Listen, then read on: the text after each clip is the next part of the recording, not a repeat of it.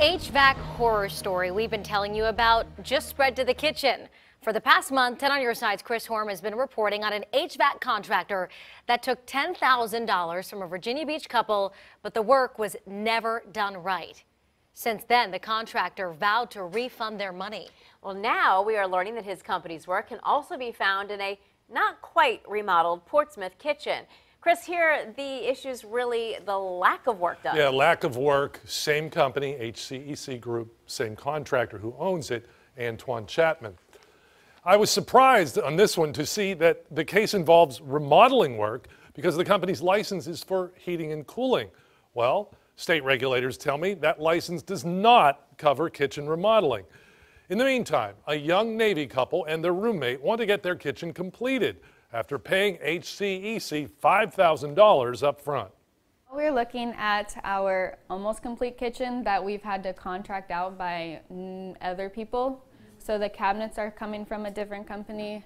And then um, we did the floors ourselves and the painting. Jessica Matney and her husband paid $5,000 to HCEC Group to renovate their kitchen, and that was back in February. So it's been months and nothing has happened. No phone calls, nothing. The couple lives in this Portsmouth ranch with their roommate, Noah Heaton.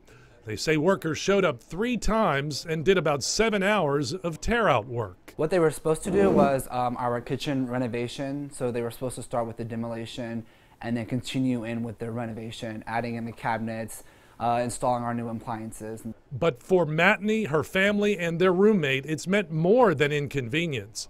For her one year old son, Grayson, it's meant danger. They left tack strips out on the floor and there were staples. So we had to go in and try and pull each individual staple in order for our son not to step on him. His feet would bleed, had little stabs in them. You'd get him stuck in there and pull him out. Also, uh, some of the tacks were rusted, so we have to worry about tetanus shots. For months, they went without a stove, so they had to rely on a grill or the microwave.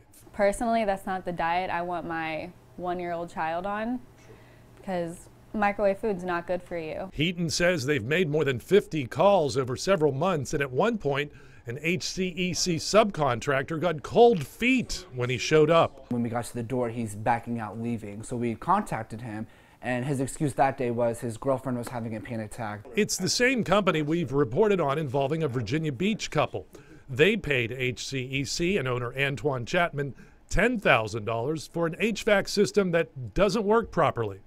When Matney and Heaton saw those stories, they realized they were dealing with the same company. It sucks for everyone that it's happening to because it's our livelihoods that they're messing with. And the company owner, Antoine Chapman, told me the Portsmouth customer canceled the contract, but the customer says that never happened.